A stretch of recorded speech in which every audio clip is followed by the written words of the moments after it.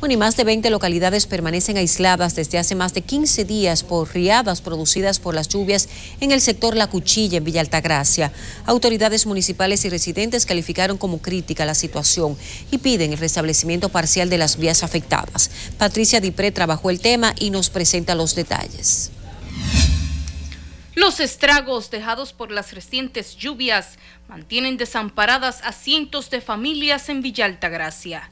Y es que la crecida del río Jaina crea un drama humano en el que personas desafían su correntía y se arriesgan a atravesarlo. Estas imágenes dramáticas reflejan lo desamparados que están los residentes en las comunidades La Represa, Barrio Chino, La Yuca, de un total de 20 localidades. La situación en el Distrito Municipal de La Cuchilla está ahora en estado de emergencia por completo. Sentido general escolar, calles y casas.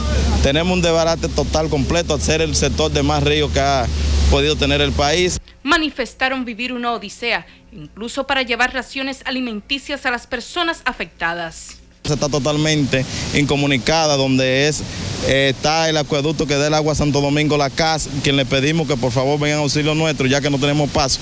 Tenemos un operativo del pueblo entero tratando de abrir trecha para llegar a ellos. A mí me ha afectado un 100%, porque yo tengo de este lado del río, tengo aproximadamente 12 días de este lado, que no podía cruzar. Pero nos ha afectado bastante, porque prácticamente, mire, yo mismo vivo en 95, tengo una, una propiedad por ahí, para allá adentro, para la cochilla y tengo ocho días que no, puedo, no he podido cruzar.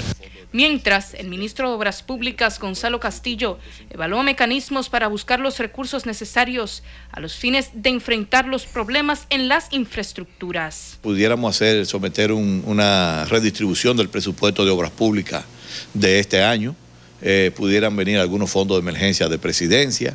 En el presupuesto existe un punto del presupuesto que es para emergencia. Hay, diferentes fuentes que, pudiéramos eh, eh, apelar para resolver estos problemas.